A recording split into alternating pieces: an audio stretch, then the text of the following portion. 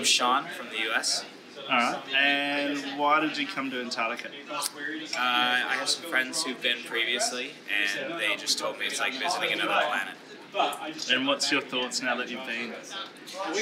You know, I actually, I don't think that it's from a different planet. I think what I walked away from this experience with is a realization of how interconnected the whole world is, even somewhere as far and remote as Antarctica. And just it is, I was still struck by the immensity of its beauty. By, uh, it still felt very earthly, and in some ways, I think that helped me feel more connected to it. Yeah. And your experience on the ship?